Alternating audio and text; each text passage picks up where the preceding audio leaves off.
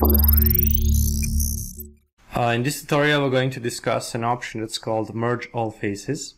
Uh, when it comes to merge all faces, uh, probably when you were modeling sometimes you had different kind of uh, modeling procedures so sometimes you cannot model the geometry completely in a correct way and then you have multiple parts like this. The way that you can you can change this, you would want your geometry to be as clean as possible for, for many purposes.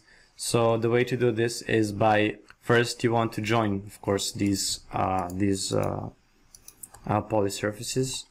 We will use the option boolean union. Boolean union. And it will create one big polysurface from all these separate polysurfaces that we had.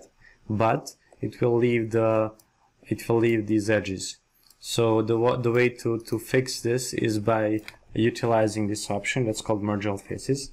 So I'm just gonna type merge all merge all faces. And once I press enter it will just remove everything. So we have the clean geometry just like this